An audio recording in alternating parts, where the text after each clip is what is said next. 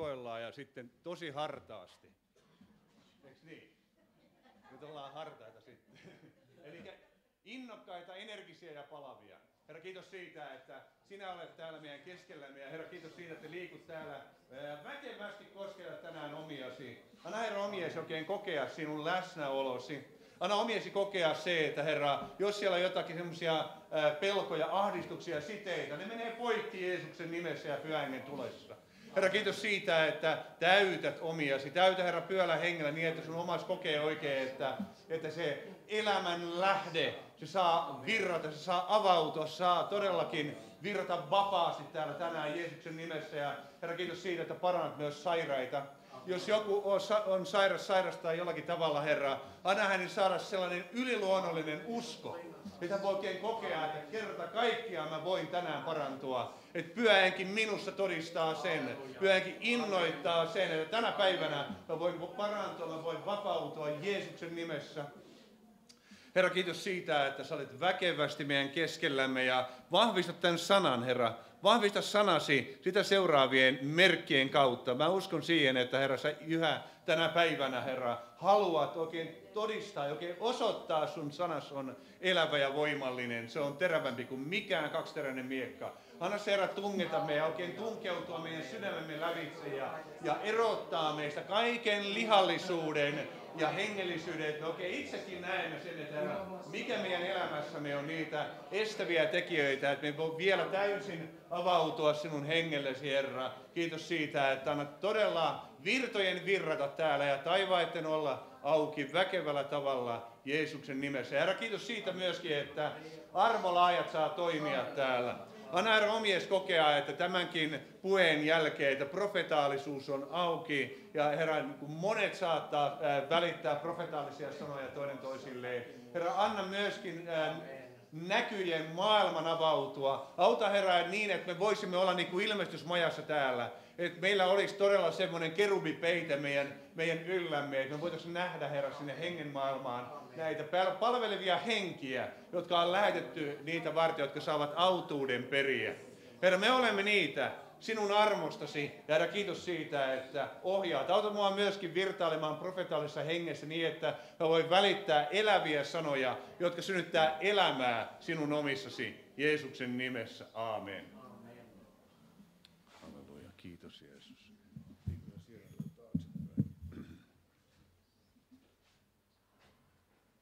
Saaran aihe, elätkö Jumalan virrassa?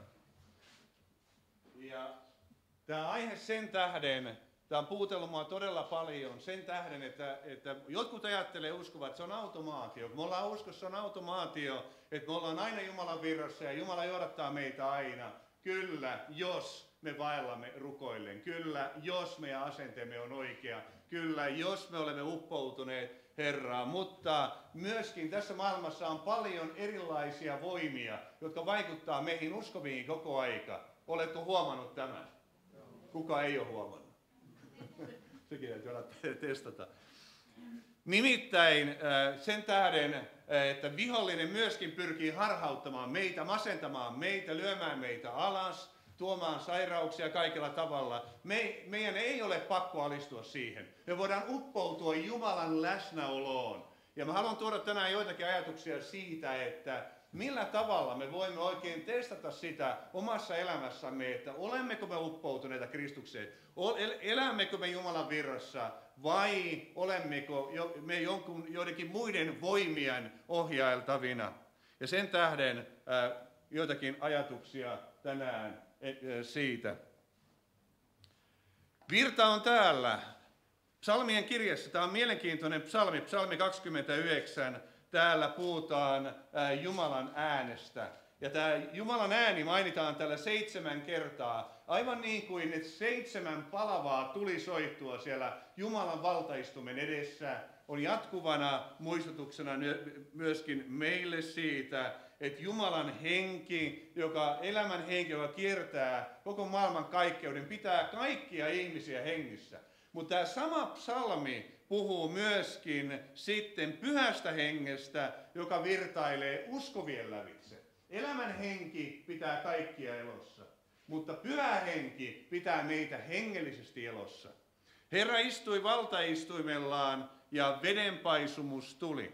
Herra istuu kuninkaana iankaikkisesti. Herra antaa kansallensa väkevyyden. Herra siunaa kansaansa rauhalla. Ensin puhutaan siitä, kuinka Herran ääni ylläpitää kaikkea elämää, mutta sitten puhutaan siitä, kuinka pyhähenki ylläpitää meidän hengellistä elämää. Ja sen tähden apostolien teoissa 756 Stefanus näki, kuinka Jeesus siellä oli noussut seisomaan isän oikealla puolella. Hän istuu valtaistumellaan isän oikealla puolellaan. Hän nousi ylös ja vedenpaisumus tuli. Hän lupasi lähettää meille pyhän hengen. Ja hän on pitänyt lupauksensa, oletko huomannut?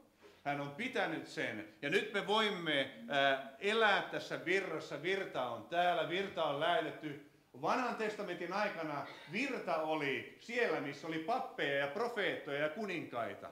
Mutta nyt me ollaan tätä Uuden testamentin papillista ja profetaalista sukua, kuninkaallista sukua, eikö vaan?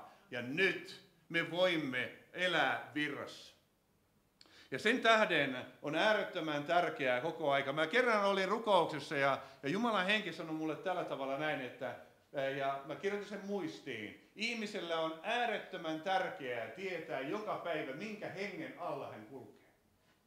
Minkä hengen alla hän kulkee. Pyhä henki persoonallisesti asuu meissä, koska me ollaan uudesti syntyneitä. Mutta nämä virrat on täällä joka puolella taistelemassa koko aika. Koko aika ne yrittää masentaa, ahdistaa, painaa uskovia maahan, lannistaa monella tavalla. Meidän ei tarvi lannistua, meidän ei tarvi masentua. Me voimme aina uppoutua tähän Jumalan energeesvirtaan, tähän joka on täynnä voimaa. Ja se on äärettömän tärkeää. Monet ajattelee, että mä, mä oon väsynyt ja joku voi sanoa, että mä oon palannut loppuun ja mä oon väsynyt, mä en jaksa. Se tarkoittaa yhtä kuin sitä, että et ole uppoutunut virtaan. Tämä on aamen, halleluja, tauko. Ihan oikeasti. Se on sitä, nimittäin meillä on aina se mahdollisuus, me voimme löytää sen voiman, jonka Jumala antaa. Ja mä en puhu jostakin sellaista utopistisesta asiasta, jota mä en itse kokisi. Mä en voi saarnata sellaista, mitä mä en itse pane käytäntöjä, täytäntöjä, elä todeksi. Tämä on aina Jumalan voima on läsnä ja aina me voimme uppoutua siihen, mutta miten? Siitä kannattaa vähän ottaa selvää. Ja no niin, se toimii. Jeesus sanoi tällä tavalla näin, että täällä Johanneksen evankeliumissa luvussa neljä, Tämä on tosi mielenkiintoinen kertomus. Tässä nimittäin hän ja opetuslapset tulevat Samariaan. Ja Samarian nimi tarkoittaa vartiopaikkaa. Ja se on juuri, sekin puuttelee, tässä jokainen nimi puuttelee tarkasti meitä tänä päivänä. Meidän tulee vartioida tilaamme. Niinhän tuli Sykar nimiseen Samarian kaupunki, joka on lähellä sitä maa-aluetta, mikä Jaakob oli antanut pojalle Joosefille. Sykar tarkoittaa juopumusta. Ja siellä oli Jaakobin lähde, kun nyt Jeesus oli matkasta väsynyt istua ja lähteen reunalle ja oli noin kuudes hetki. Tämä on todella mielenkiintoinen tilanne, nimittäin siinä, äh, sinä päivänä se oli kaksi lähdettä, ihan vierekkäin. Siellä oli elämän lähde, Jeesus Kristus, ja siellä oli Jaakobin lähde, joka on petturin lähde, pettymysten lähde. Ja, ja me ollaan joka päivä ystävät tämän tilanteen edessä. Tämä maailma, tämä ajakausi, toiset ihmiset saa aikaan meille helposti pettymyksiä, eikö niin? Me voidaan kääntää huomiomme näihin pettymyksiin, juoda siitä pettymyksen lähteistä ja juopua tämän maailman hengestä. Mutta meidän ei ole pakko tehdä sitä. Siinä on vieressä koko aika elämänlähde Jeesus. Hän itse asiassa asuu meidän sydämessämme henkensä kautta. Meidän ei ole pakko kääntää huomiotamme tähän maailmaan. Meidän ei ole pakko juoda sitä pettymystä, katsella sitä pettymystä, mitä ihmisillä on. Ihmiset pettyy uudelleen uudelleen. Jeesus kohtasi täällä naisen, joka oli pettynyt. Hän sanoikin tälle naiselle, että viisi miestä sinulla on ollut ja se, joka sinulla nyt on, ei ole sinun miesi. Hän etsi rakkautta, hän etsi ihmisiltä rakkautta. Oletteko huomannut, kuinka ihmiset tänä päivänä tukeutuu ihmisiin, etsii epätoivosti rakkautta. Vietetään aikakaudessa, joka on hyvin semmoinen rakkaudeton ja kylmä. Ja rakkauskin on vääristetty, vääristetty monella tavalla, niin kuin täällä äh, ihan alussa tuli esillekin, äh, jo on äh, ihmisten käsitys rakkaudesta ja sukupuolistakin on mennyt ihan sekaisin ja, ja sen tähden ihmiset ovat juopuneita. Tämä kausi tarvii esikuvia. Eikö vaan? Aivan niin kuin Merson takalaisessa joskus luki, että maailma tarvii esikuvia. Ja me tarvitaan, me tarvitaan sitä, että meidän täytyy olla esikuvina. Ja me tulee, ystävät, näyttää se, että me olemme löytäneet sen äh, rakkauden lähteen. Me olemme löytäneet sen elävien vetten lähteen, joka ei ehdy. Jeesus sanoo tälle naiselle, joka tulee pettyneenä, häpeässä, ja sellaisena ajakautena keskellä päivää, jolloin ei ole muita siellä, kaikkein kuumin hetki. Ja Jeesus pyytää häneltä juotavaa ja, ja nainen ihmettelee, että kuinka juutalainen mies voi pyytää samarialaista naiselta juotavaa, koska heillä oli selkeästi tällainen ää, asenne. Juutalaiset halveksivat samarialaista sekakansaa. Jeesus sanoi hänelle, jos sinä tietäisit Jumalan lahja ja kuka se on, joka sinulta sanoo, anna minulle juotavaa, niin sinä pyytäisit häneltä ja hän antaisi sinulle elävää vettä. Jeesus pyysi, huomaatteko, mitä Jeesus pyysi? Jeesus pyysi sitä, että tämä nainen antaisi sitä pettymystä, mikä hänen sydämessään oli. Hänen sydämessään oli pettymyksen lähde auki. Anna mun juoda sun pettymystä, juo sinä mun elämääni. Tehdään tämmöinen vaihtokauppa. Ja se on mun mielestä mahtavaa tässä. Jeesus sanoi, että puraa sydämesi, puraa pettymyksesi. Ja, ja kaikki se, mikä on aiheuttanut juopumusta sun elämääsi, minä kyllä kestän kuulla sen kaiken. Pura se kaikki ja juo elävää vettä. Nainen sanoo, ei, ei ole tilanteen tasalla vielä tässä vaiheessa, ei sulla ammennus asti ja kaivo on syvä, mitä sä voit antaa vettä? Hänen huomionsa on maailmassa, hänen huomionsa on aineellisessa. Et kai sen ole suurempi kuin meidän isämme Jaakob. Kumpi kaivo on suurempi? Kumpi kaivo on sinun silmissäsi mahtavampi tänä päivänä? Me ollaan niin helposti ihmisinä mennään pettymysten lähteelle, eikö vaan?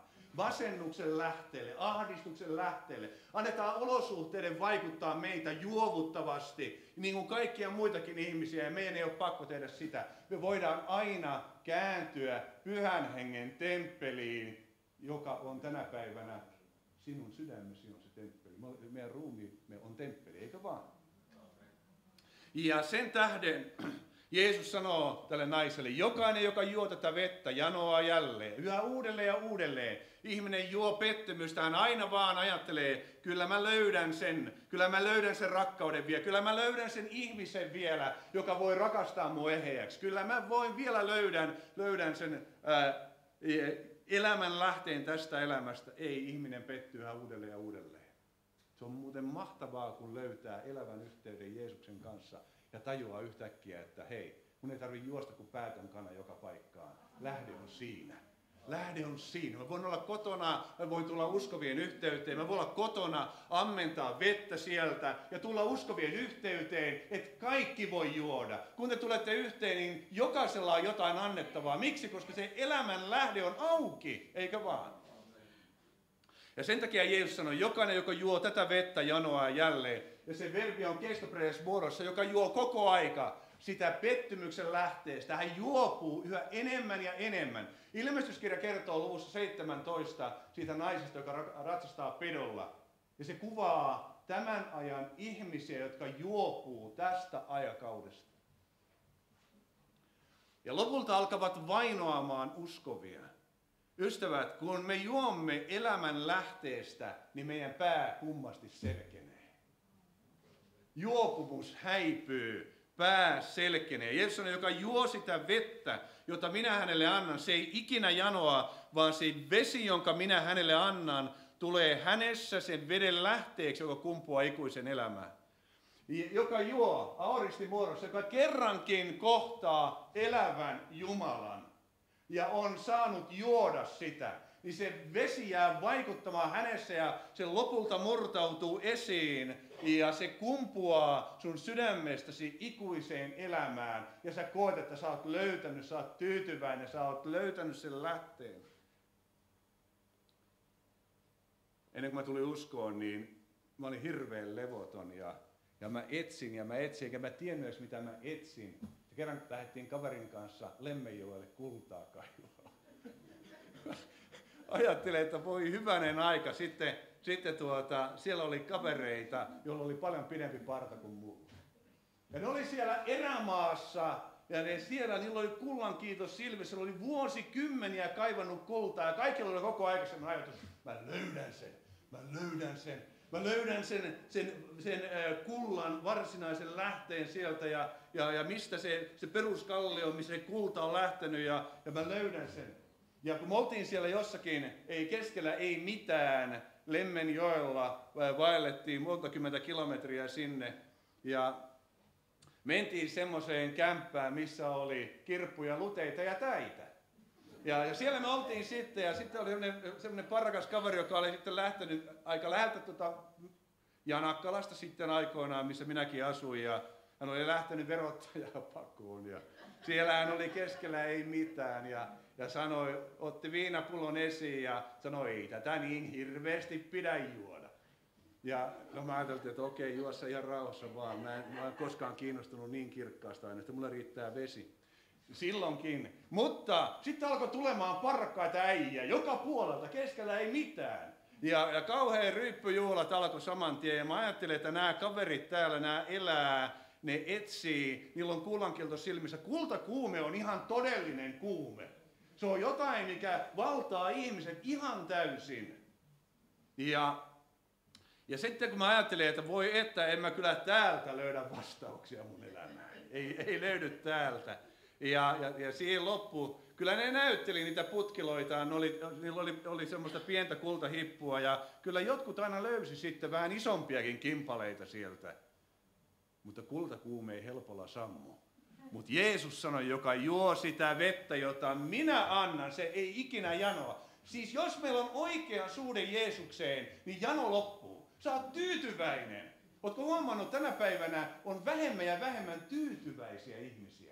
Ihmisillä on koko ajan, ne, on, ne ei ole tyytyväisiä sen tähden, koska ne on ihan ulkoa ohjautuvia. Jos sinusta tulee sisältä ohjautuva, jos sä ammenat siitä lähteestä, joka on sun sydämessäsi, niin sä olet tyytyväinen.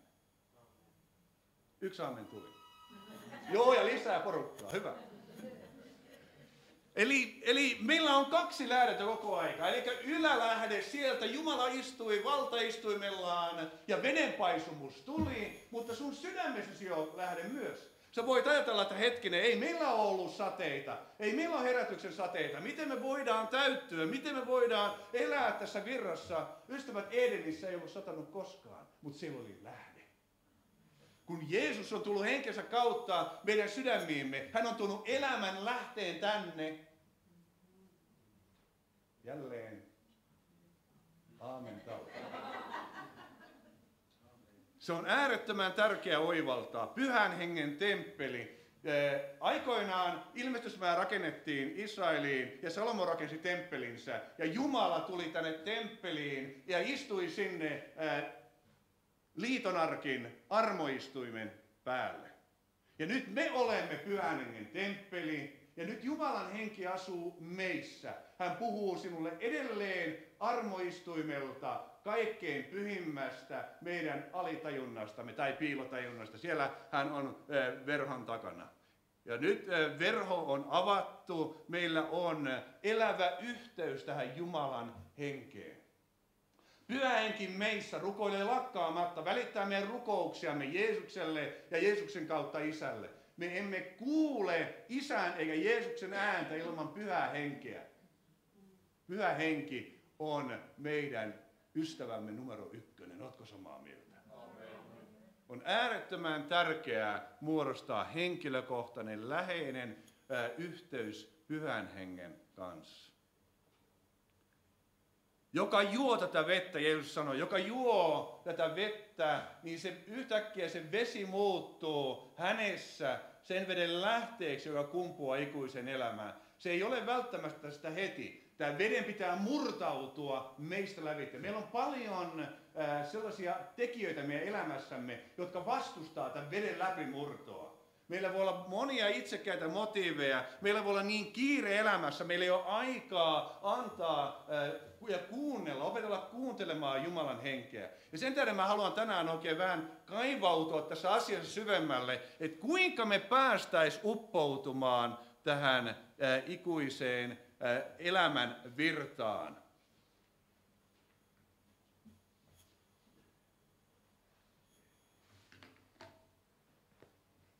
Tervehdys. Mukavaa, että tulitte. Ystävät, avainsana on avaudu tälle virralle. Avaudu. Virta on olemassa, virta on täällä, mutta meidän tulee avautua sille. Meillä voi olla monia tekijöitä, jotka estää meitä avautumasta. Meillä voi olla pelkoa, meillä voi olla ajatella sillä tavalla, että hetkinen, että, että uskallanko mä avautua tälle Jumalalle. Eräs veli teki aikoinaan kyselyn pastoreille ja, ja, ja kyseli pastoreilta tällä tavalla näin, että uskallatko sanoa Jumalalle näin, tee minun elämälläni mitä haluat. Pastori oli miettinyt hetken aikaa ja sanonut, en. En uskalla. Hän oli, hän oli eh, ehkä laskenut vähän kustannuksia, mutta hänellä saattoi olla myöskin väärä kuva Jumalasta. Meidän Jumalamme on hyvä Jumala. Hänellä on täydellinen suunnitelma meidän elämällemme. Ei hän sano sulle yhtäkkiä, että tota, sulla on ollut ajatusta, voi että mä tykkään täällä palvella seurakunnassa, mä tykkään olla esirukoilija, mutta mä pelkään, että Jumala sanoo mulle yhtäkkiä, lähde Afrikkaan, saireita jonnekin ja, ja lähetä sut lähetystyöntekijäksi. Ei Jumala sillä toimi.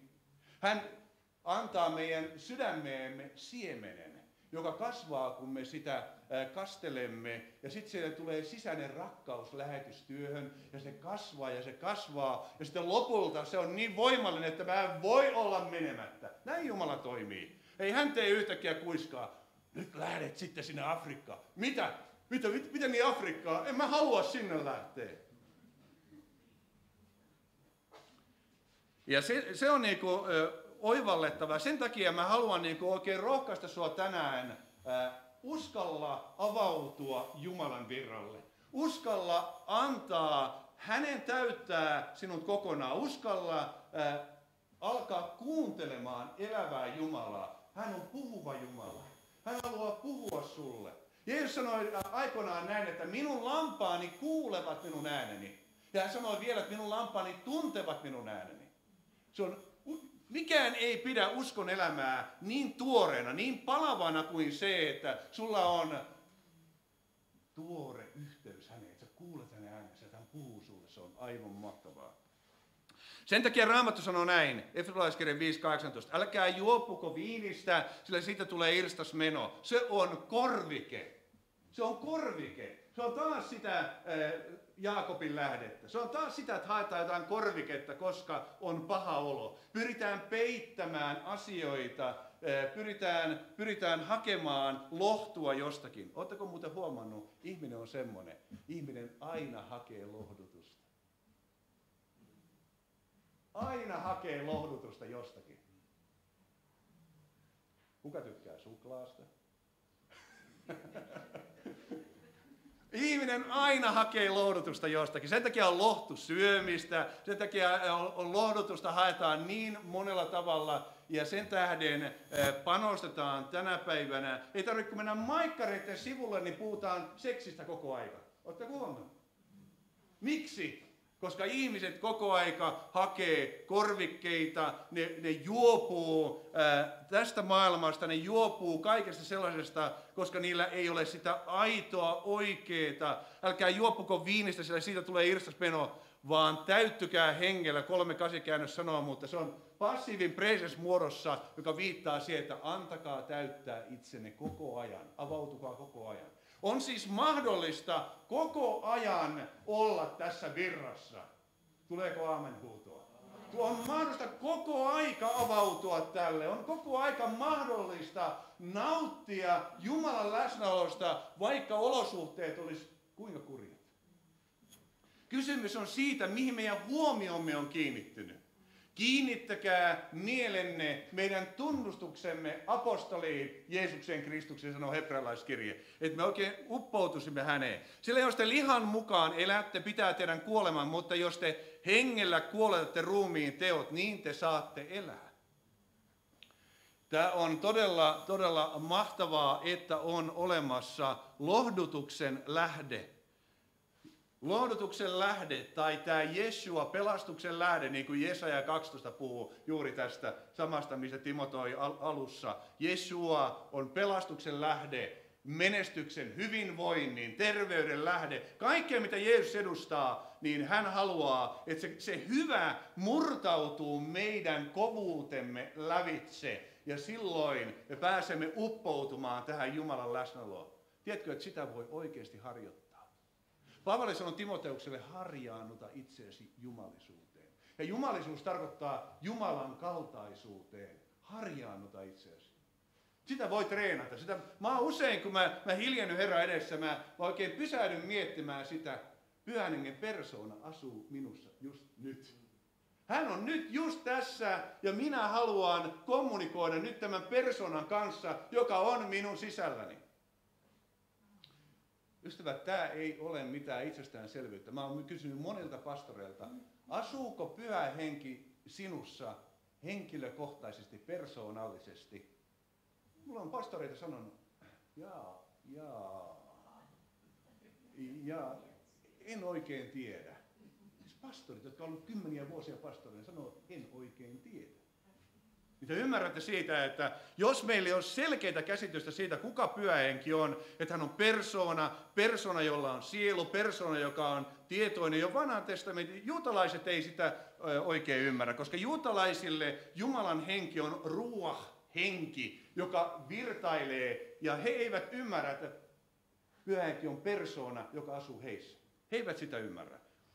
Jehovan todistajat eivät sitä ymmärrä. Heillekin Jumalan henki on vain voima. Mutta pyhähenki on persoona, joka asuu meissä. Ja pyhähenki on myöskin virta, joka virtailee. Siinä virrassa on äly, siinä virrassa on tietoisuus, siinä virrassa on voima. Tämä on mun mielestä mahtavaa. Mahtavaa, sä et ole koskaan yksin. Sä voit aina mennä, mennä ja, ja, ja istua ja olla ihan hiljaa. Ootko oppinut olemaan ihan hiljaa Jumala edessä? Salmi 37 ja 7. Hiljenny Herra edessä ja odota häntä. Hiljaa. Kerran kun mä olin rukouksessa, Jumalan henki sanoi mulle näin. Länsimaiselle ihmiselle rukous on suoritus. Mä tullut, hetkinen, tommonen lause. Piti kirjoittaa taas äkkiä se muistiin. Länsimaiselle ihmiselle rukous on suoritus. Ei, rukous ei ole asioiden hokemista. Rukous on, Paavo Hiltunen kirjoitti hienosti joskus, rakkautta. Se on kommunikointia Jumalan hengen kanssa. Se on yhteistä hengittämistä hänen kanssaan. Se on hänen tunteittensa aistimista. Se on aistimista, yhdistymistä hänen tunteittensa, hänen ajatustensa, hänen voimansa kanssa. Se on persoona, pyhä henki. Se on mahtavaa. Mahtavaa, kun pääsee yhteyteen. Ja profeetta Hesekiel sai kokea jotakin tällaista. Hänet vietiin näyssä minä uskon näin tuhatvuotiseen valtakuntaan, jolloin siellä Israelin maassa tulee olemaan vuorella temppeli ja hänet vietiin katsomaan tätä temppeliä. Hesekielin näky on ihmeellinen ja täällä luvussa 47 mä haluan tuoda joitakin tärkeitä pointteja. Sitten hän, eli enkeli, vei minut takaisin temppelin ovelle. Ja katso, vettä kumpusi temppelin kynnyksen alta itään päin, sillä temppelin etusivu oli itää kohti. Ja vesi juoksi alas temppelin oikean puoleisen sivuseinämän alitse alttarin eteläpuolitse. Mä olen alleviivannut tässä avainsanoja, joihin meidän kannattaa kiinnittää huomiota. Ensinnäkin, kun puhutaan Jumalan temppelistä, joka sinä olet, Jumalan temppeli täällä tänään. Me ollaan kaikki temppeleitä tai niin kuin Paavo Järvinen sanoi, pyhängen tomppeleita. niin vettä kumpusi temppelin kynnyksen alta, kynnyksen alta. Eli kynnys viittaa aina johonkin, niin kuin tiedät. Kynnys viittaa johonkin asiaan, joka on ylitettävä. Se on jokin ehkä uhkakuva tai ehkä jokin asia, joka tuntuu meistä kauhean vaikealta, mutta se on ylitettävä. Esimerkiksi kynnyksenä voi olla se, että mä voin uskotella itselleni, että ei mulla ole aikaa rukoilla. Ei mulla aikaa, mä oon liian kiireinen. Niin kuin yksi sisar sanoi mulla tuolla, tuolla eräällä paikakunnalla, että ei, ei, en minä ei rukoilla. Mulla on ADHD. Ai jaa, okei, sulla on ADHD, selvä sitten. Mä sanoin, että jos sulla on ADHD, niin tee semmoinen sopimus nyt että Herran kanssa, että kun se kuljet tota, tuolin ohi, niin pysähdy siihen ja on viisi minuuttia hiljaa ja rukoile. Ja se on kyllä vaikeeta, se sanoo mulle vaikeeta, kun mulla on se ADHD. Te ymmärrätte, että jos ihminen hokee, että mulla on ADHD, minä pystyn, minä pystyn, kynnys nousee koko ajan. Kynnys nousee. Kynnys voi myös madaltua, eikä vaan. Jesajan kirjassa on tilanne, jossa profeetta Jesaja näkee taivaaseen suoraan. Siellä serafit ylistää Jumalaa ja huutaa toinen toisellensa ja sanoo, että pyhä, pyhä, pyhä herra Sebaot, kaikki maa on täynnä hänen kunniaansa. Ja mitä siitä seurasi, kun he voimakkaasti ylisti ja palvo Jumalaa? Kynnysten perustukset vapisivat heidän huutonsa äänestä ja huone täyttyi savulla. Jumala haluaa, ystävät, että meidän kynnysten perustukset värisee ja vapisee. Et, et kaikki ne asiat, joita me uskotellaan itsellemme ja muille, että en minä voi, en mä pysty, mä oon syntinen, kurja, mä oon heikko, mä oon onneton, mä olen vaivan alainen, mato matkamies maan, en minä jaksa rukoilla, en minä voi. Kaikki nämä nostaa kynnystä koko aika.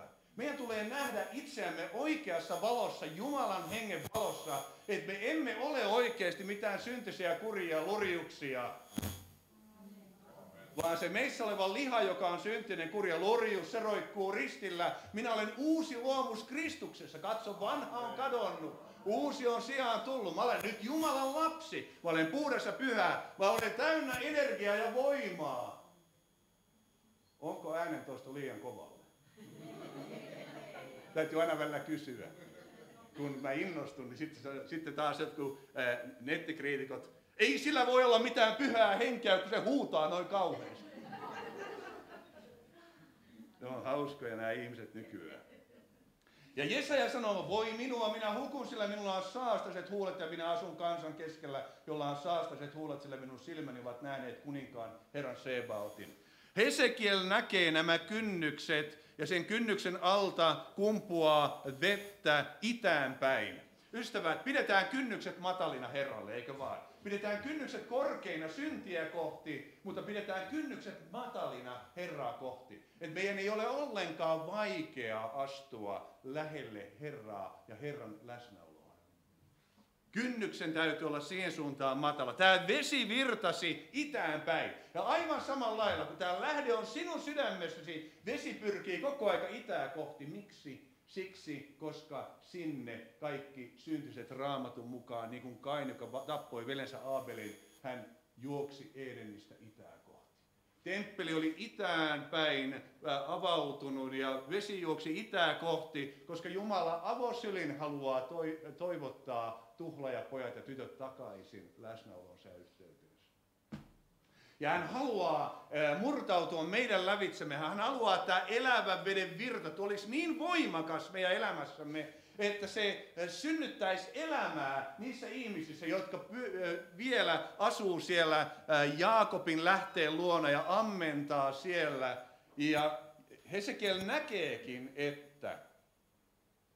nämä vedet juoksivat itäiselle alueelle, virtasivat alas Aromaahan ja tulevat mereen. Niiden jouduttua mereen vesi siinä paranee. Ja tämä on meidän missiomme, ystävät. Parantaa veden laatua kaikkialla, mihin me menemme, eikö vaan? Parantaa veden laatua. On merkillistä, kun mä olin rukouksessa, niin mä ajattelin, että voiko Jumala toimia näin? Kyllä hän voi. Hän sanoi mulle näin. Älä enää juo suora, suoraa hanavettä, jossa on klooria. Se ei ole hyvä sun keholles vaan keitä se ensin, anna sen seistä kloorin haittua ja juo sitten vasta. Tuli tämmöinen ohje. No mä ajattelin, että okei, minä toimin näin. Sinä olet luonut mun kehoni, sä tiedät, mun kehoni on noin 80 prosenttia vettä. Jos se on täynnä, täynnä klooria, niin se varmaan hyvää sinne tee. Voihan se tappaa bakteereita, mutta ei se hyvää tee. No mä toimin näin. Ja, ja se muuten maistuu paljon paremmalta. Nyt, nyt huomaa, kun on, on, on, on keittänyt sen kloorin pois, nyt huomaa sen, että kun jos juo vähänkin vettä, jossa on kloori, se maistaa heti. Se maistaa heti, tulee sen verran herkäksi. Jumala haluaa ohjata meidän elämäämme. Hän haluaa puuttua vähäpätöisiltäkin kuulostaviin asioihin. Hän haluaa olla pienissä ja suurissa asioissa mukana. Uskotko tämän? Voitaisiin ajatella, että Jumala, en mä nyt viitti sulle tuoda näitä pikkujuttuja. Mä tuon sulle vaan isoja juttuja ja kerran viikossa. Pikkujutut mä hoidan itse. Joo, Jumala sanoo, että okei, hoida sitten. Katsotaan, kun kompuroitiin, palataan sitten asiaan. Ja kompurointia tulee ihan varmaan, jos me emme anna Herran puuttua kaikkiin asioihin ja ohjata meitä.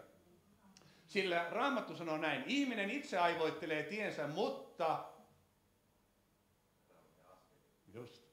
Herra häntä ohjaa, juuri näin. Ja kaikki elolliset, kaikki, jotka liikkuvat, virkoavat elämään kaikkialla, mihin tämä kaksoisvirta tulee, ja kaloja on oleva hyvin paljon. Ystävät, herätys on tulossa. Herätys on tulossa. Mutta ensin uskovien täytyy herätä. Ensin täytyy saada elävät vedet virtaamaan meistä niin, että se näkyy meistä, että me ollaan innokkaita, me ollaan palavia tälle asialle. Jos sä löydät Suomesta palavan ihmisen, niin sä voit kysyä heti häneltä, okei, dikkaako se jääkiekko? Ihan oikeasti. Eli täytyy sanoa toistepäin. Hämeenlinnassa on palavia ihmisiä. Hämeenlinnassa on sikakatsomo. Ja Hämeenlinna on kuuluisa sikakatsomosta. Ja sen tähden, että se on, siellä on kaikki sikailijat. Ja siellä on oikeasti se, sen laatuista porukkaa, mä en menisi sinne ollenkaan sitä kuuntelemaan. Mutta ne palaa sille asialle oikeasti. Ja me tarvitaan sitä, että me sytymme tälle asialle. Jumala on lähdössä liikkeelle Tammikuun ensimmäinen päivä yöllä Herra herätti mut. Mä olin mennyt, mennyt just nukkuun ja raketit vielä paukku taivaalla. Ja mä heräsin ja Jumala enki alkoi puhumaan mulle ja hän sanoi, että tänä vuonna hän tulee sytyttämään niihin majakoihin, jotka hän on rakentanut, hän tulee sytyttämään nämä majakat. Hän tulee pistämään niin valo. Nimittäin maailma on sen verran pimeä tällä hetkellä, että se valo tulee näkymään kirkkaasti. Ja hän äh, etsii ja on etsinyt sellaisia ihmisiä, jota, jotka todella kaipaa Jumalaa, jotka on omistautunut hänelle. Profeetta Hesekiel oli yksi niistä, jotka oli todella antautunut Jumalaa. Hän e-, eli siellä Babyloniassa, hän eli siellä pakkosiirtolaisuudessa. Hän sai profetiota samaan aikaan kuin Jeremia sai siellä luvatussa maassa. Jeremia joutui kyllä paljon kovemmalle. Mutta Hesekiel sai nähdä tämän profetaalisen tulevaisuuden Israelissa, mutta nämä elävät vedet on täällä meidän sydämissämme nyt. Ihan samat vedet. Ja, ja sen tähden, huomatkaa, vesi juoksi alas temppelin oikean puolisen sivuseinämän alitse, alttarin eteläpuolitse. Tämä vesi, tämä elävä vesi sinussa juoksee aina alttaria, eli ristiä kohti. Se vie meitä, meidän omaa lihaamme ensin kuolemaan. Oletko pannut merkille? Jumala ei tarvi meidän älykkyyttämme, Jumala ei tarvi meidän muistiamme, Jumala ei tarvi meidän voimaamme, Jumala ei tarvi, että me ollaan kauniita ja rohkeita. Hän haluaa, että me ollaan täynnä häntä. Hän haluaa, että me ollaan elämme ja palamme hänelle. Silloin hän saa paljon aikaa meidän kauttamme. Vesi virtaa kohti alttaria. Vesi virtaa kohti ristiä. Vesi pyrkii murtamaan meidän kovan ulkokuoremme ensin jotta se sisällä oleva pehmeä lihasydän pääsee esiin ja pääsee hallitsemaan meidän elämäämme. Katsotaan vähän, kun Hesekieli menee siihen virtaan. Mitä tarkoittaa se, että hän meni neljässä vaiheessa uimavesiin? Mitä tämä tarkoittaa käytännössä meidän elämässämme tänään, tässä ja nyt ja seurakunnan kohdalla? Sitten hän toi minut ulos pohjoisportin kautta ja kierrätti minut ulkopuolitse ulkoportille, joka antoi itää kohde ja katso vesi virtasi oikean puoliselta sivun seinämältä päin. Mennessään itää kohti mies, mittanuora kädessään, mittasi tuhat kyynärää ja antoi minun käydä veden poikki, vettä oli nilkkoihin asti. Ja jälleen mä olen alleviivannut tärkeitä avainsanoja. Ensinnäkin mennessänsä itää kohti, mittanuora kädessään, mittasi tämä mies tuhat kyynärää. Se mittaa sana hebrean kielellä viittaa katselemiseen, sen juuri sana, sen juuri sana viittaa katselemiseen, toivomiseen ja odottamiseen. Kuka haluaa päästä syvemmälle virtaan? On oikeita hetkiä, kun mittamies tulee meidän elämäämme. Hän mittaa tuhat kyynärää, noin 500 metriä lisää, sanoo, että okei, nyt sulle tarjotaan mahdollisuus. Nyt pääset syvemmälle virtaan. Ja, ja, ja tämä juuri sana viittaa siihen, että kun Jumala tulee meidän elämäämme, hän alkaa herättelemään meitä, hän ravistelee meidän elämämme kynnyksiä, hän madaltaa kynnystä, astu virtaan, mene syvemmälle, pyri pääsemään syvemmälle ja hän sen jälkeen katselee, hän toivoo, hän odottaa, että me menisimme eteenpäin, mutta hän ei pakota. Hän houkuttelee, koska profetaalisuus on sitä. Se on rohkaisemista, se on kannustamista, mutta se ei ole pakottamista. Ja sen tähden Jumalan henki haluaa viedä meitä eteenpäin. Ja hän antoi minun käydä veden poikki. Hän antoi Hesekielin ylittää virta, siirtyä toiselta rannalta toiselle rannalle. Mitä siellä oli? Täällä sanotaan näin. Virran varrella sen molemmilla rannoilla kasvaa kaikenlaisia hedelmäpuita. Niistä eivät lakastu leidet eivätkä lopu hedelmät, joka kuukausi ne kantavat tuoreet hedelmät, sillä niiden vedet juoksevat pyhäköstä. Ja niiden hedelmät ovat ravitsevaiset ja niiden lehdet parantavaiset. Ja tämä kaikki on meidän sydämessämme tällä hetkellä. Koska siellä asuu Jumalan henki, eikö vaan? Missä on Jumala, siellä on paratiisi. Missä on Jumala, siellä on paratiisin läsnäolo, Jumalan hengen läsnäolo. Ja kysymys on siitä, pääseekö tämä virta virtaamaan, missä määrin me ollaan avauduttu Jumalalle, missä määrin me uskallamme murtua pyhän Jumalan edessä, nöyrtyä hänen edessään, olla kuuliaisia hänen äänelleen ja totella häntä, niin siinä määrin nämä vedet virtaa ja me pääsemme ylittämään virran, siirtymään luonnolliselta alueelta hengelliseen ilmapiiriin. Tästä on kysymys. Ja, ja sen tähden, kun me ajatellaan tätä vettä, joka ulottuu nilkkoihin saakka, hebrean kielessä sana, joka viittaa nilkkaa, viittaa sama sana myöskin loppumiseen. Ja tämä oli aika mielenkiintoista sen tähden, että Jumala, kun hän kutsuu meitä, niin hän vetää meitä virtaan. Hän vetää meitä omaan läsnäolonsa. Hän vetää meitä sille alueelle, jossa meidän luonnollinen elämämme ja, ja, ja omat ideamme ja omat fantasiamme ja omat suunnitelmamme loppuu ja alkaa Jumalan suunnitelmat. Kummista olet enemmän kiinnostunut, Jumalan suunnitelmista vai omista suunnitelmista? Eikö vaan? Toisessa Mooseksen kirjassa Mooses oli 40 vuotta ollut erämaassa. Hän oli varmaan kuollut jo kaikille näylle ja hän oli kuollut kaikelle, mitä Jumala oli puhunut hänelle ja oli ajatellut, että joo, Joo, se varmaan johtui siitä, kun mä itse hätäilin, kun mä menin itse tappamaan miehen, kun mä luulin, että Jumala minun kauttani vapauttaa Israelin kansan. Nyt meni kaikki pieleen ja 40 vuotta, niin ei kerta kaikkiaan tästä tule mitään. Mutta sitten erä enkeli ilmestyy hänelle tulen liekissä keskellä orjentappura pensasta ja Mooses näkee, että pensas palaa ilmi tulessa, mutta pensas ei kuitenkaan kulunut. Niin Mooses sanoi, minä käyn tuonne ja katson tätä suurta näkyä, miksi ei pensas pala poroksi. Kun Herra näki hänen tulevan katsomaan, huusi hän Jumala hänelle pensasta ja sanoi, Mooses, Mooses, hän vastasi, tässä olen. Jumala houkuttelee lähemmäksi.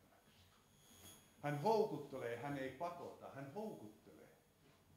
Nyt houkuttelee sinua, lähde syvemmälle virtaan. Uskalla uppoutua häneen. Uskalla luovuttaa enemmän hänelle itsemääräämisoikeutta. Uskalla luottaa siihen, että hän on hyvä Jumala, jolla on täydellinen suunnitelma sun elämääsi. Ja aina kun me suunnitellaan jotain, aina kun me pistetään vastaan ja kun meidän suunnitelma toteutuu, niin tulee ristiriitaa Jumalan hengen kanssa.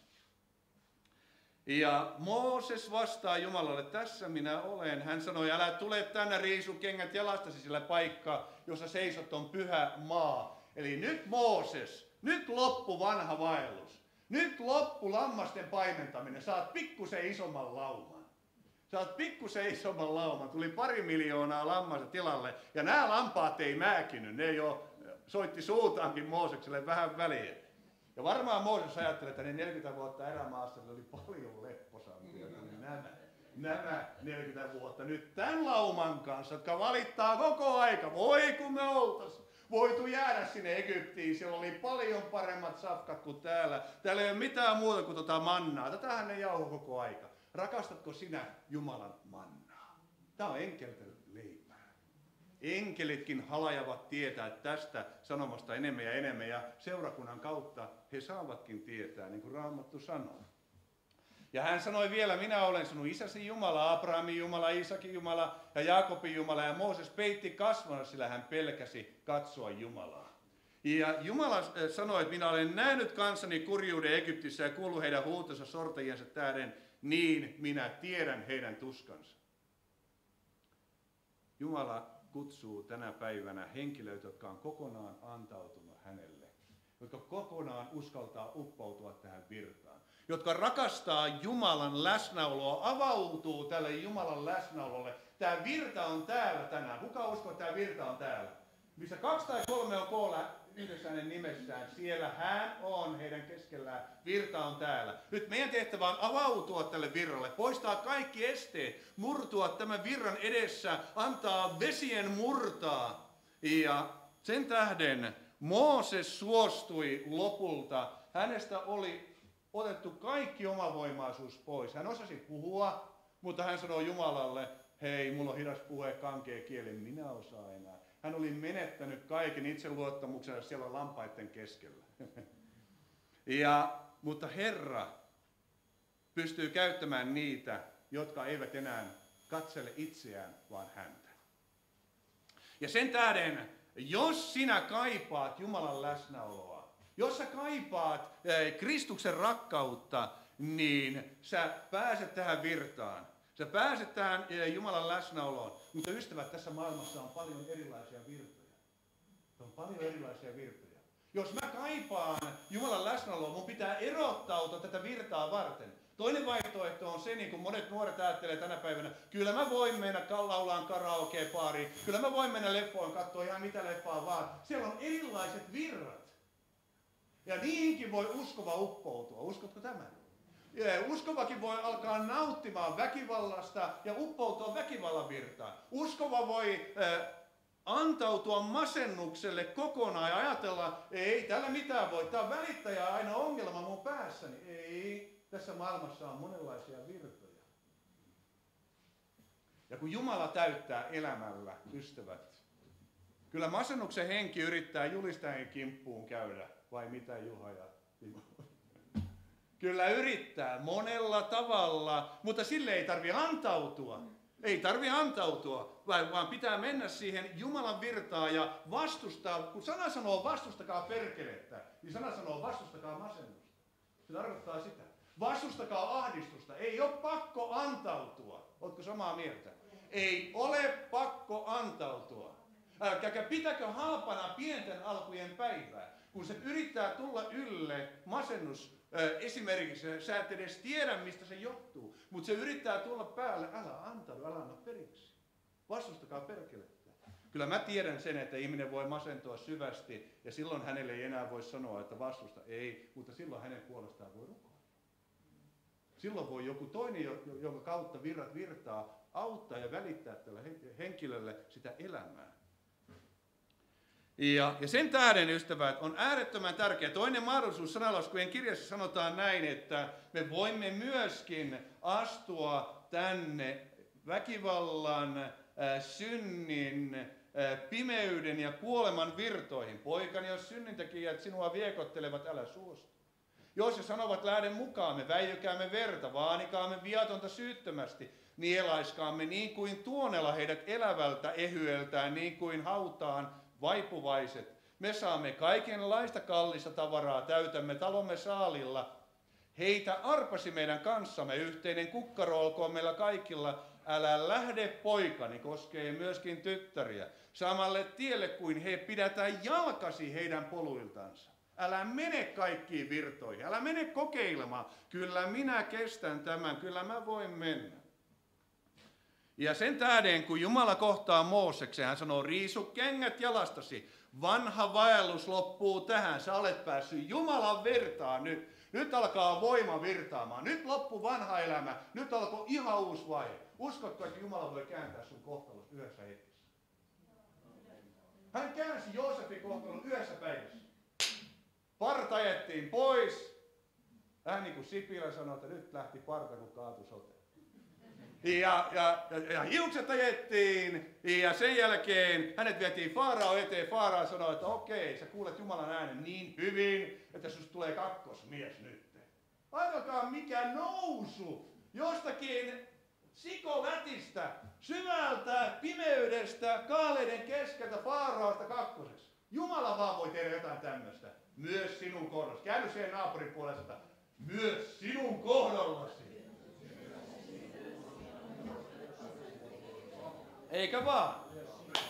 Meidän tarvii oikein vakuuttaa itsemme ja toinen toisemme, että meillä on valtavan suuri Jumala, joka voi kääntää meidän kohtalomme, mutta se riippuu siitä, missä virrassa me elämme. Joosef eli tässä Jumalan virrassa. Hän opetteli kuuntelemaan Jumalaa aina tarkasti. Eli pohdi sitä, että missä virrassa elät tänä päivänä.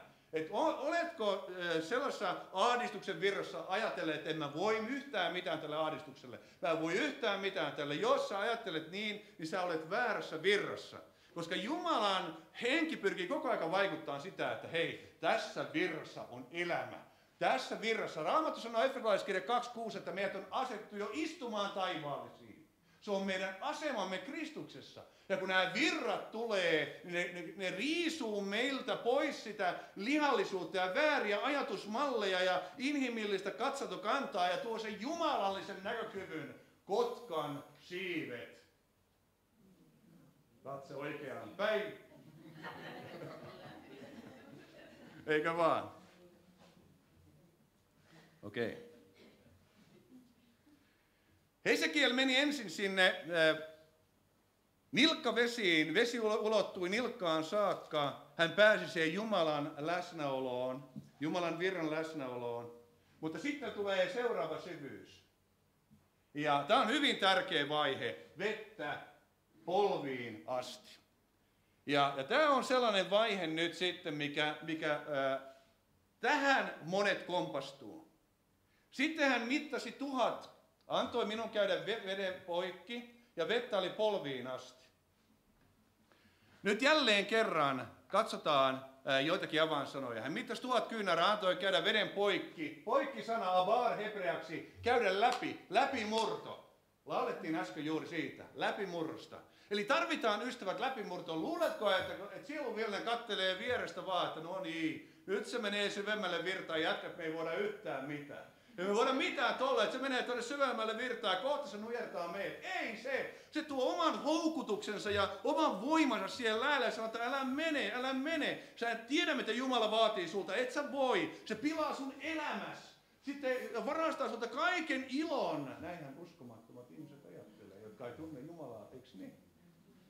Hän on aidon ilon lähde. Ilo ilman Jeesusta on teeskentelyä. Eikö vaan? Nämä on näitä tämmöisiä hyviä iskulauseita. Ja sen tähden, ystävät, kun on vettä polviin asti, niin hän mittasi tuot, antoi käydä veden poikki, vettä oli polviin asti. Ja tämä polviin, berek, hebreassa, se on johdettu sanasta barak, joka tarkoittaa siunata, polvistua jonkun edessä. Eli jos sinä olet ja haluat uppoutua syvemmälle virtaan, mene ja sulkeudu kammioosi. Rukoile Jumalaasi, joka on salassa, ja hän maksaa sinulle, ja vielä sanotaan alkutekstin mukaan julkisesti. julkisesti. Hän maksaa sinulle. Eli ilman rukousta, ilman rukousta ja ajan viettämistä Jumalan kanssa, niin Jumalan henki ei pääse näyttämään meille, mitkä asiat meidän mielessämme ja alitajunnassamme estää häntä täyttämästä meitä kokonaan. Tästä on kysymys. Mutta kun sä hiljennyt Herran edessä, niin Jumalan henki alkaa nostamaan hiljaisuudessa ja nostamaan asioita mieleen. Niin, niin, on niitä tunnelukkoja. On niitä mielen linnakkeita, vääriä ajatusmalleja, vääriä motiiveja. On niin hyvä esimerkki, kun oli Nokia, missä kerran Hämeenlinnassa. Ja siellä mun takana istui yksi vanha mies. Ja sitten sinne tuli, tuli äh, joku venäläinen todistamaan taivasnäystää. Ja tämä vanha mies siinä mun takana. Mä kuulin, kun hän puhisi ja äisi ja mm, ai täällä on ryssiä. Sitten se nousi ja lähti pois. Mä ajattelin, että mikä asenne uskovalla. Hyvänen aika. No hän oli varmaan ollut sodassa ja hän oli varmaan sitä venäläisvihaa, mitä oli sodan jälkeen, mutta ei uskovalla voi semmoisia olla. Nämä on kaikki semmoisia asenteita, jotka estää meitä täyttymästä. Eikö vaan? Rakasta lähimmäistäsi niin kuin itseäsi. Se on ihan sama, onko se ryssä tai jopa ruotsalainen. Eikö vaan? Ei. Ystävät, meidän tulee rakastaa kaikkia lähimmäisiä niin kuin itseämme. Ja, ja nämä väärät asenteet estää meitä täyttämästä. Nämä väärät asenteet estää meitä uppoutumasta virtaan. Ja me, sen tähden Jumala haluaa, että me tulemme, sulkeudumme kammioomme, ollaan ihan hiljaa Herra edessä ja sanomme, Herra, tässä mä olen, puhu palvelijasi kuulee. Näytä mun väärät motiivini, näytä. Mä olen tässä, mä en väistele mitään, mä en väistele mitään. Puhu mulle sanasi kautta, näytä mulle Herra, mikä estää. Ja sen tähden, eh, kun vettä on polviin asti, jos sinä rakastat rukoilemista, jos sinä haluat kuunnella Jumalaa, niin vettä on vähintään polviin. Vähintään polviin asti. Tästä on kysymys. Koska tässä asemassa, kun vettä on polviin asti, niin uskova avautuu Jumalan ajatuksille. Ensin, ensin sieltä tulee niitä omia ajatuksia, mutta sekin puhuu. Sekin puhuu. Mä oon sanonut ihmisille, että jos haluat opetella niin ensin eliminoi kaikki tuommoiset sivuäänet. Ja sen jälkeen äh, mulla aina on pelttorit korvissa, kuulosuojaimet. Mä haluan kuunnella, olla ihan hiljaa. Ensin mä, kun mä rupesin kuuntelemaan, ihan hirveä meteli, ajatusmeteli. Se oli ihan mahdoton. Mä en pystynyt hallitsemaan ajatukseni yhtään. Mä toista hyvänen aika. Mä en koskaan ennen uskoon tuloa niin kiinnittänyt mitään huomiota ajatuksiin. Ja uskovan oikeasti tulee hallita ajatuksensa. Ja jos sulla on sellainen asenne, että kerta kaikkiaan minä en kuuntele vihollisen ääntä, minä en anna ajatusteni harhailla, minä haluan pitää ajatukseni äh, kerta kaikkiaan Kristuksessa ja mä en suostu murehtimaan. Älkää mistään murehtiko, vaan kaikessa saattakaa pyyntönne rukouksella ja anomisella kiitoksen kanssa Jumalalle tiettäväksi. Jos sulla on tämmöinen asenne, olet polvi vesissä. Vettä on silloin sinulla polviin saakka. Sinä valvot ajatuksen. Sä et, sä et siedä, sä et halua ajatella pahaa. Vettä on polviin asti. Tämä on hyvä indikaattori, tämä on hyvä merkki siitä. Mutta jos on sellainen, niin kuin eräs henkilö kävi mun kimppuni ja sanoi, että ei uskova pysty hallitsemaan ajatuksia, ei ihminen pysty hallitsemaan ajatuksia, johan psykologiakin sen kertoo. Ajatukset tulee, ajatukset menee ja ihminen on tässä vaan ikään kuin joku tasoristeys. Ne vaan tulee junat ja ne menee ja ihminen vaan tarkkailee. Oho, tommonenkin ajatus. Mistä toi tuli? Joo, joo. Ei uskon elämä ole tämmöistä. Meidät on kutsuttu olemaan hallitsijoita. Ja ensimmäinen asia, mitä meidän pitää hallita, on omat ajatuksemme. Jos sä hallitset ajatuksesi, hallitset myös tunteesi. Jos hallitset tunteesi, hallitset myös kielesi, mikä on erittäin hyvä uutinen sisarille. Yksi sanoo aamen. Ja monet ajattelee, että tosta vielä, tosta vielä lähetään tulikenen katkusta sähköpostia. Ei, kyllä se kulkaa niin on, että naisilla on ongelma kielen kanssa ja mie- miehillä silmien kanssa. Miehillä on, miehillä on sama. Ja miehen täytyy myöskin saada ne kuriin. Ja kaikki lähtee ajatusten hallinnasta. Ja uskovan tulee saada sellainen asenne, että me pystymme hallitsemaan ajatuksemme. Filippiläiskirjassa selkeästi antaa meille tämän ohjeen ja sanoo näin, että ja vielä veljet koskee sisaria myös. Kaikki, mikä on totta, mikä kunnioitettavaa, mikä oikeaa, mikä puhdasta, mikä rakastettavaa, mikä hyvältä kuuluvaa, jos on jokin avu, jotakin kiitettävää, sitä ajatelkaa. Eikö tämä kuvaa ajatusten hallitsemista? Tästä lähtee kaikki. Jos on tämmöinen asenne, tähän mä pyrin, tätä mä haluan, mä haluan, että mun ajatukseni pysyy kurissa, jotta mä voisin kuulla Jumalan ajatuksia, olet polvivesissä vähintään. Vesi ulottuu polviin saakka. Mutta myöskin sielun vihollinen pyrkii viemään meitä syvemmälle virtaan. Ajatelkaa jopa Jeesus Täällä Luukkaan evankeliumissa hän ottaa Jeesuksen. Ajatelkaa, silloin vihollisella oli sen verran auktoriteettia ja valtaa, että hän pystyi ottamaan Jeesuksen ja viemään häntä kauhistuksen siivillä ja vei hänet korkealle vuorelle, näytti hänelle yhdessä tuokiossa kaikki maailman valtakunnat ja sanoi hänelle, Sinulle minä annan kaiken tämän valtapiiri ja sen loiston, sillä minun haltuuni se on annettu ja minä annan sen kenelle tahdon. Jos sinä siis kumarrat minun eteeni. Hän halusi vaan sitä, että Jeesus polvistuu hänen eteensä. Ja tätä vihollinen yrittää meidän kohdallamme koko aikaa. Et me alamme uskottelemaan itselle, en minä pysty hallitsemaan ajatukseni, en minä pysty hallitsemaan puheitani, en minä pysty. Okei, okay, mutta pystyykö Jumalan henki minussa ja sinussa?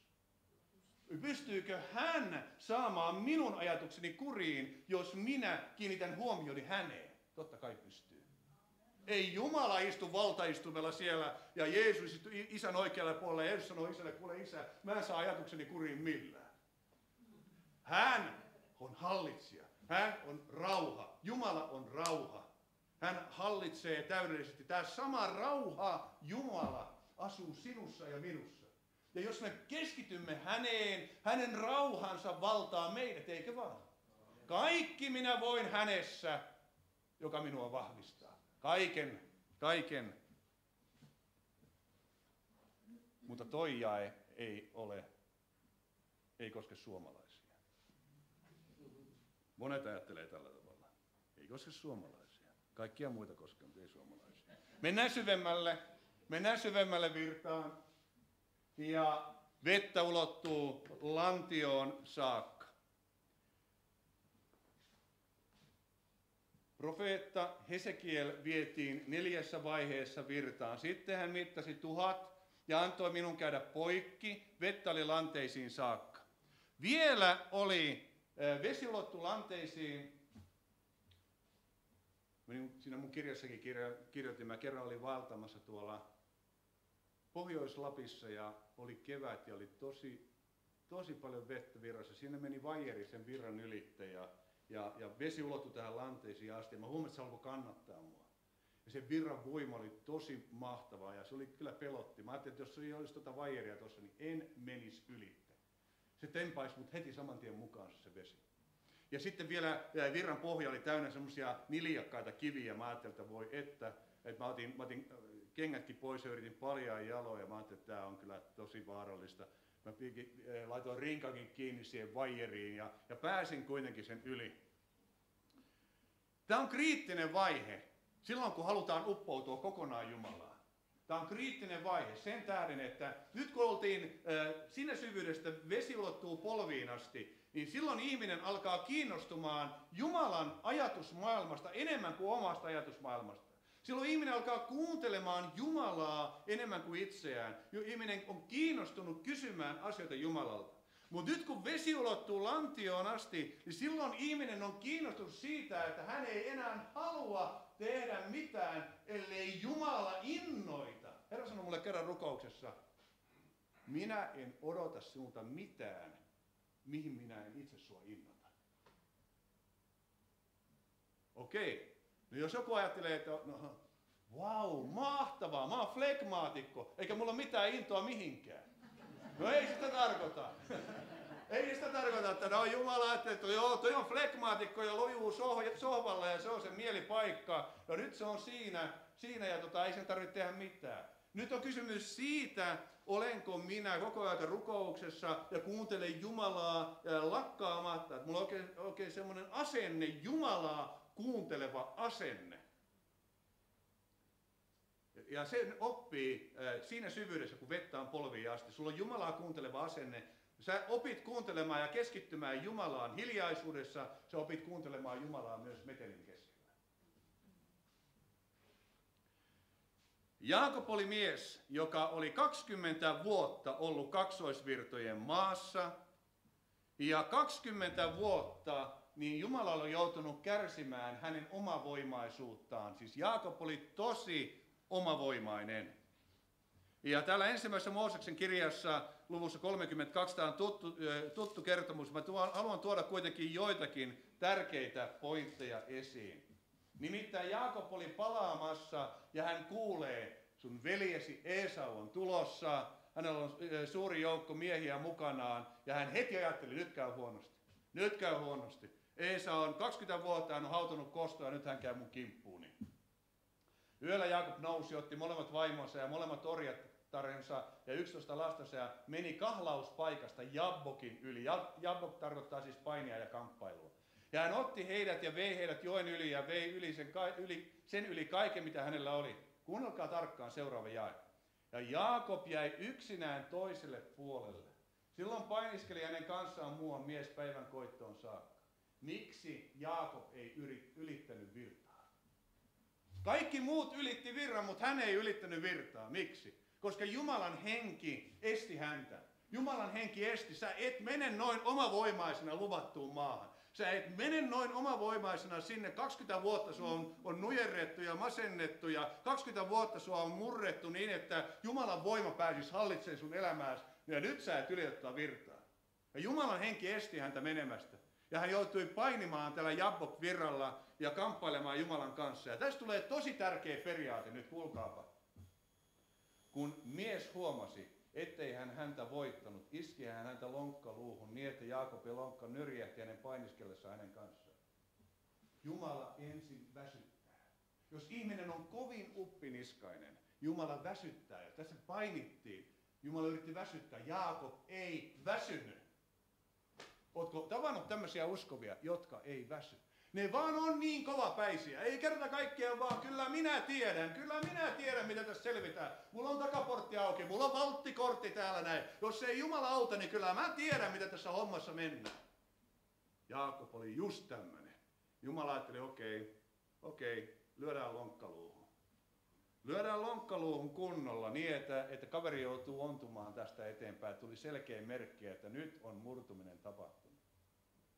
Ja mies sanoi, päästä minut sillä päivä koittaa, mutta hän vastasi, en päästä sinua, ellei siunaa minua.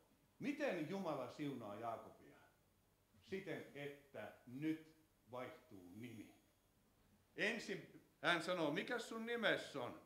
Niin Jaakob tunnustaa, se on petturi, kerta kaikkiaan petturi, omavoimainen petturi. Aina yrittää ja kaikella tavalla päästä sieltä, missä aita on, aita on vaan matali, niin sieltä mennään.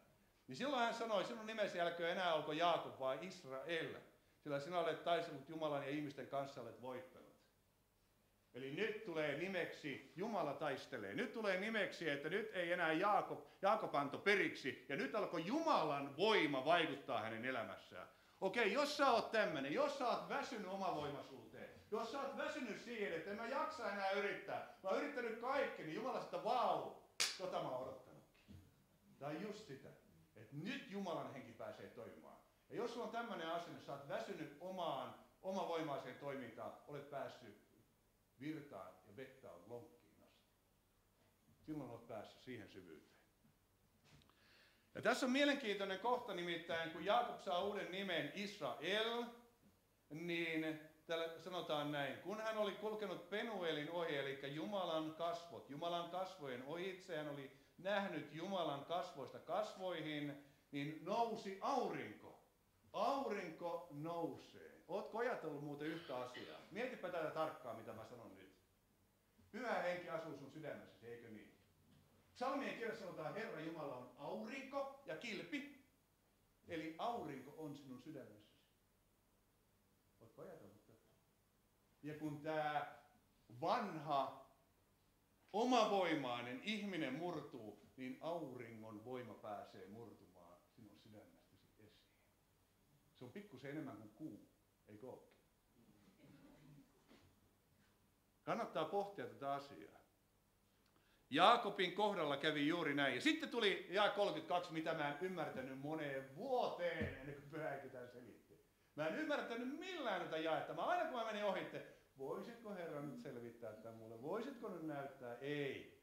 Sen tähden israelaiset eivät vielä tänäkään päivänä syö reisijännettä, joka kulkee lonkkaluun yli. Sillä hän iski Jaakobia lonkkaluuhun reisijänteen kohdalle. Tensor, faski laatta lihas tässä ja sitten lähtee leveä reisijänne. Kuka hullu söisi reisijännettä? Paksua reisijännettä. Kenelle kuuluu ruokavalioon jänteen syöminen? Siis tämän sanoman merkitys on se, että kun Jumala lyö sinut heikoksi jollain elämän alueella, älä enää vahvista sitä elämän aluetta. Jos Jumala on antanut sulle voiton niin, että sä et enää äh, äh, halua katsoa äh, esimerkiksi väkivaltaa televisiosta, televisiosta, älä ruoki itseesi enää sillä väkivallalla. Tästä on kysymys.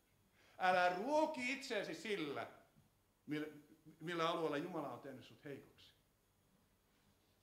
Okei. Okay. Ja vielä on yksi syvyys. Mennään viimeinen ajatus. Ihan pompataan uimavesiin saakka. Sitä mittasi tuhat tuli virta, jonka poikki minä en voinut käydä, sillä vesi nousi uimavedeksi, josta ei voinut käydä poikki. Eli nyt tulee uimavesi, ja kun joku pääsee uimavesiin, niin Hesekiel ei enää pyrkinytkään ylittämään, vaan virta vei. Uskotko, että voi päästä uskon elämässä tämmöiseen vaiheeseen, että sä, sä et ole enää kiinnostunut, sä oot koko ajan pyrkit kuuntelemaan Jumalan ajatuksia, koko aika ää, tunnustelet sitä, että mihin Jumala innottaa sinua nyt tällä hetkellä. Sulla on niin läheinen yhteistyö pyhän kanssa, että Jumalan henki vaan kuljettaa, ohjaa ja johdattaa sinua, virta vie, ja sä tiedostat sen syvällä sydämessäsi. Mä, mä elän yhteistyötä. Mulla on niin kuin Jeesuksella oli saumaton ihakos. Että mulla on saumaton yhteistyö Jumalan hengen kanssa. Se on täysin mahdollista. Se on täysin mahdollista. Silloin kun on herätyksen henki ja ilmapiiri, niin silloin se on helppoa, mutta kun on herätysten välinen ajakausi, se on vaikeaa. Joutuu vähän näkemään vaivaakin siinä rukouksessa, etsimään Jumalaa, etsimään Jumalaa. Ja sen tähden, kun me nähdään esimerkiksi tämä Filippuksen tapaus, hän on siellä Kandake hoviherraa kastamassa, ja kun ne nousee sieltä ylös verestä, niin Herran henki tempaa hänet niin kuin harpat soo, ottaa voimalla pois ja vie. Filippus oli tässä virrassa. Niin eikä hoviherra ääntä enää nähnyt ja hän jatkoi matkaansa iloiten.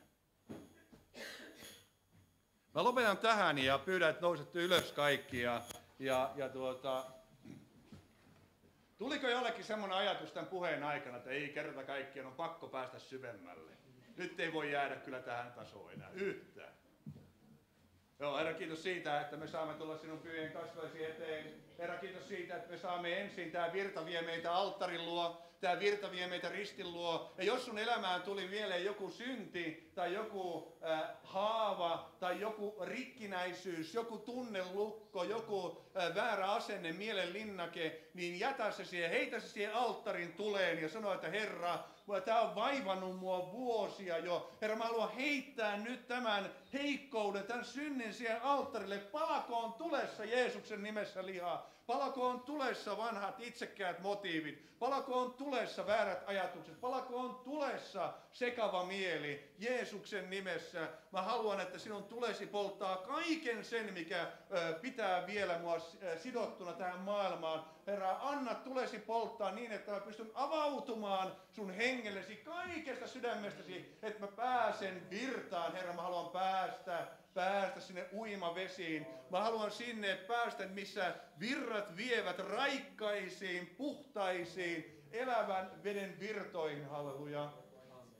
Herra, kiitos siitä, että annat omiesi tässä hetkessä oikein. Jos sulla on kielellä puhumisen lahja, niin puhu ystävä kielellä. Kielellä puhuva rakentaa itseään. Kielellä puhuva puhuu salaisuuksia hengessä kiellä puhuva puhuu Jumalalle salaisuuksia ja elävät vedet alkaa heti virtaamaan sun sydämessä. Ja sä huomaat, että nyt se kerta kaikkiaan alkaa kuplimaan. Pyhä virta alkaa virtaamaan ja se elämä tulee esiin sieltä. Halleluja. Herra, me ylistämme ja palvomme sinua. Sä oot mahtava Jeesus. Kiitos siitä, että Herra, me saamme käydä ristin ohitse, me saamme käydä kaikkein pyhimpään, me saamme uppoutua sinne, mennä sinne äh, virtoihin, hallelujaa. Me ylistämme sinua kaikki valtias, halleluja. Herra, kiitos siitä, että jos jollakin on sekavat ajatukset, niin sinä tuot rauhan mieleen juuri nyt, halleluja. Ja annat oikein omies kokea, että kerta kaikkiaan suloinen Jumalan rauha, joka on kaikkea ymmärrystä ylempi, se on varjeleva minun ajatukseni ja, ja, ja sydämeni Kristuksessa Jeesuksessa meidän Herrassamme. Herra, kiitos siitä, että sinä olet rauha ja sinä annat meille sen suloisen rauhan, halleluja. Herra, kiitos siitä, että annat omiesi tällä hetkellä oikein keskittyneesti myöskin samalla, kun me, kun me palvomme sinua, niin kuunnella, mitä Jumala puhuu, halleluja. Mitä hän puhuu meidän sydämellemme, minkälaisia ajatuksia sieltä nousee. Kun sä puhut kielillä, niin Jumalan henki alkaa nostamaan hänen ajatuksiaan sun mieleesi. Sen tähden kielellä puhumisen laaja on niin tärkeä. Se on niin tärkeä. Kielellä rakentaa itseään, halleluja. Ja jos sulla ei ole kielläpumisen lahjaa, niin rukoile, että tänä iltana se avautuu. Että vedet murtautuu esiin sieltä ja alkaa yliluonnolliset kielet, enkelten kielet tulemaan sun suustasi Jeesuksen nimessä. Shedelende karalamasi, edeletei shedele korjaralamasi. Harelende karalamasi, edeletendu kossenne varalamasi. Ja katso sisareni, sinä joka pelkäät, sinä jolla on pelko ja pelko on hallinnut sinun elämääsi, niin katso, minä näen, että sinä olet halunnut jättää vanhat kenkäsi virran rantaan ja sinä olet jo astunut siihen nilkkavesiin. Mutta tänä päivänä minä haluan mitata tuhat kyynärää sinulle lisää ja ottaa sinua kädestä kiinni ja sanoa, tule, tule syvemmälle virtaan. Minä haluan, että sinä opit rukous, ruko, rukoilemaan uudella tavalla. Minä haluan viedä sinut rukouskouluun. Ja ennen kaikkea minä opetan sinua hiljentymään. Tätä sinä et ole pystynyt, tähän sinä et ole pystynyt, sinä et ole pystynyt hiljentymään. Mutta minä haluan opettaa sinua siihen, minä haluan poistaa sinun sydämestäsi esteet. Siellä on vielä käsittelemätöntä alitajuntaa ja asioita on salassa, mutta minä tuon esiin kaikki asiat pimeyden kätköstä, sillä katso, kaikki on avointa ja paljastettua Kristuksessa. Ja heti kun tulee profetaalinen virta sinun kauttasi, niin tuo profetian sanoja esiin. Ole rohkea. Anna virran tulla. Anna sen pulputa sinun sydämessäsi. Sinä olet pyhän temppeli. Halleluja. Shedelende karalamasi, edeletenda karalamasi, edelete ishorolo koriaralamasi. Aralamasi. Ja sinä veljeni, sinä veljeni, jonka ää, itsetunto on hyvin alaspainettu, ja sinulla on semmoinen ajatus, että en minä osaa, en minä kykene, en minä pysty. Herra haluaa oikein nostaa sinua ja sanoa näin. Veljeni, tee tänä päivänä päätös, että alat katselemaan minua, sanoo Jeesus. Että alat katselemaan minua enemmän kuin itseäsi. Uskon elämä ei ole sitä, että sinä katselet itseäsi, vaan se on sitä, että sinä opit kiinnittämään katsesi minuun, sanoo Jeesus. Ja silloin sinä näet sen voiman, sen potentiaalisen voimavaran, joka on sinun sydämeesi talletettu. Halleluja. Kiitos Jeesus. Adelende karalamassi, edele teissi, edele korjaralamasi, edele tendula koodalamassi. Adelende karalamassi. Täällä on sisar, joka kantaa raskasta taakkaa. Sulla on kädet tässä oikein niin kuin vatsa ympärillä. Sulla on niin kuin raskas kuorma tässä edessä sulla on raskas kuorma ja, ja jotenkin, jotenkin tota Herra sanoi, että minä haluaisin niin, että sinä jättäisit sen kuorman tänne tänään. Että sinä et lähtisi tämän kuorman kanssa. Että sinä et enää syyttäisi itseäsi asioista, joille sinä et mitään voi, etkä ole voinutkaan. Ja sen tähden, katso, minä haluan rohkaista sinua ja nostaa sinua ja näyttää sinulle sen, että sinulla on annettu rukouksen ase. Ja minä olen äh, siirtävä sinua aivan lähipäivinä ihan uudenlaisille alueille. Sinä ikään kuin ylität virran ja sinä siirryt hengelliselle alueelle ja saat syödä elämän puusta. Aivan tuoretta hedelmää, halleluja. Ja se tulee vahvistamaan sinua niin, että sinä et enää halua kantaa sitä kuormaa, jota sinä nyt kannat. Täällä on muutamalla nyt jo profetia syntymässä. Ole nyt rohkea. Anna tulla. Shedelende karalama siedele karalama siedele te shedele koralama. Päivät tulevat, sanoi Herra. Päivät tulevat, minä halajan, että te pääsette jokainen teistä, joka ikinen uima vesi. Astukaa reippaasti, astukaa nyt, astukaa pian. Sillä minä haluan täyttää teidät. Mä haluan, että te täytätte voimalla, ilolla, sillä rakkaudella, sillä kirkkaudella, mikä on minusta. Minä rakastan teitä.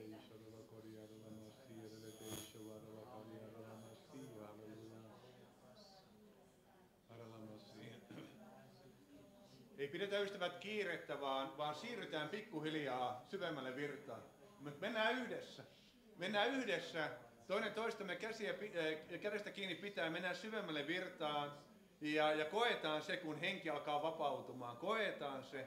Koetaan se Jumalan virta, joka haluaa viedä meitä eteenpäin. Täällä on sisari, jolla on pelkoa. Sä katselet, mä näen niin kuin, näyssä sitä, että sä pyrit koko aika vähän vilkuilemaan selkäsi taakse. Sulla on jonkunnäköisiä uhkakuvia, uhkakuvia, jotka yrittää, yrittää vainota sua. Ja vihollinen onkin, yrittää syöttää sulle uhkakuvia ja ajatuksia, että sinun kotiisi murtaudutaan ja, ja, ja sinä joudut ryöstön kohteeksi, sulle käy huonosti, sairauksia tulee. Herra sanoo, että nyt lopeta se vihollisen äänen kuuleminen. Sä oot kuunnellut liikaa vihollisen ääntä. Ja jotenkin Herra sanoo sinulle, että opettele kuuntelemaan minun ääntäni. Minä en syytä, minä en soimaa. Minä en syytä, minä en soimaa. Minun ää, ajatukseni ovat rauhan ajatuksia. Minä annan rauhan enkä turmion ajatuksia. Minä annan rohkaisevia, lohduttavia ajatuksia, kehottavia ajatuksia, sanoo Herra.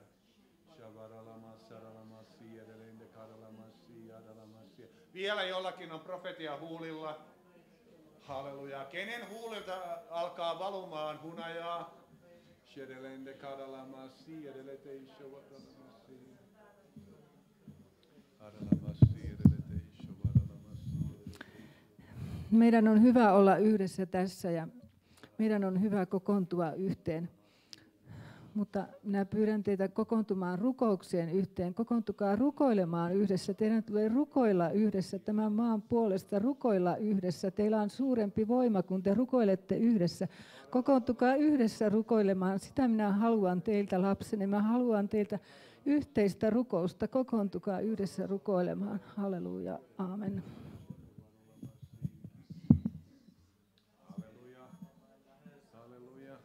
Ollaan vielä, vielä koko aika, pidetään ajatukset tiukasti Kristuksessa. Älä anna ajatustasi harhailla yhtään, vaan koko ajan katso tiukasti Kristukseen ja sano, että Herra, nyt mä haluan päästä syvemmälle virtaan. Mä haluan seurata, mä haluan totella mittamiestä, mä haluan, mä haluan uskon kautta siirtyä syvemmälle. Halleluja. Shedelende karalamasi, shedelele korelende karalamasi, korelende karalamasi. Yerelele korelende karalamar serelele havalata isho halalala le karalamar serelele. Haralele koralamar saralende korelende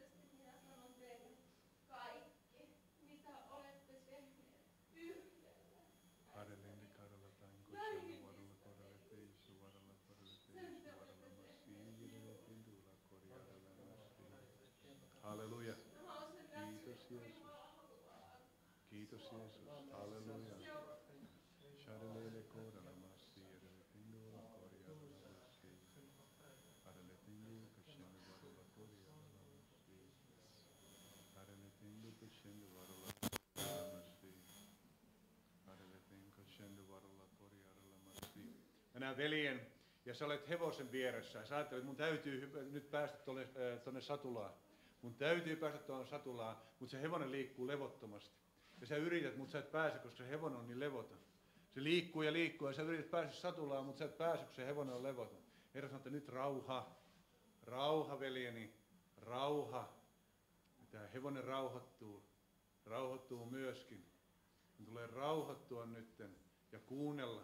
Minä haluan antaa sinulle toimintaohjeita. Minä haluan antaa toimintaohjeita. Myrskypilvet nousee, sinun tulee nähdä, myrskypilvet nousee. Sinun tulee nähdä myöskin, että minun henkeni lähtee liikkeelle ennen näkemättömällä tavalla. Ja sen tähden katso, ää, nyt rauhoitu, rukoile ja kuuntele. Ja punnitse tarkkaan elämäsi, miten tarkkaan kuinka aikasi käytät. Nyt on tärkeä, oikea ajankäyttö. Se on ensiarvoisen tärkeä sinun kohdallasi. Oikea ajankäyttö tästä eteenpäin. Kuuntele. Olen niin kuin profeetta Eli, joka tähyili merelle päin ja katsoi ja kysyi palvelijalta, näkyykö mitään, näkyykö mitään. Kohta alkaa näkymään, kohta alkaa näkymään. Katso, minä haluan, että sinä olet etulinjassa katsomassa ja näkemässä, kun sadepilvet nousevat. Harelende. Shevala karjalamasi. Vielä on selvästi joillakin, joillakin on profetian henki, profetian henki puhuttaa, profetian henki ää, ikään kuin paisuttaa sinua ja, ja kuplii sun sisällä. Sano tulla esiin. Anna tulla esiin rohkeasti. Shabaralama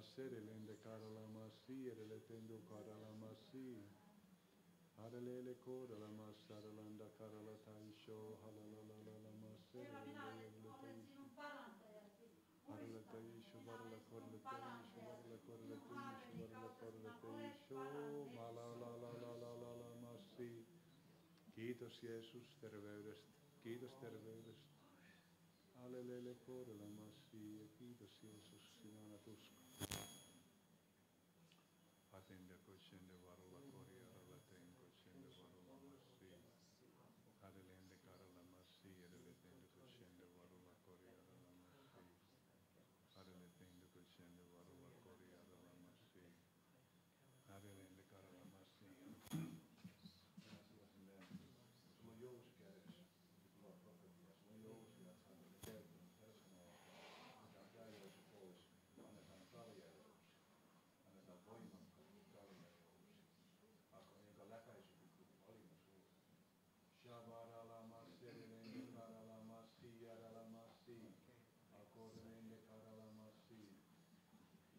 Ja tunnet sen, kun se on sinun kädessä. Ja silloin ammu, ammu, silloin niitä profetaalisen sanojen nuolia ammu. Ja sinä huomaat, että niiden läpäisykyky on suurempi kuin aikaisemmin. Shavaralama sedelende karalama sia, halleluja. Shavarala korelende karalama si. Jollakin on vatsavaivoja ollut pitkään ja jotenkin Jumalan voima haluaa koskettaa sinua ja, ja pyhän hengen voitelu mennä suoraan vatsan alueelle. Vatsan alue, onko tämä jotakin refluksitautia, onko tämä jotakin närästystä, jotakin vastaavaa tai äh, laaja alaisemmin, mutta nyt uskon kautta vastaan.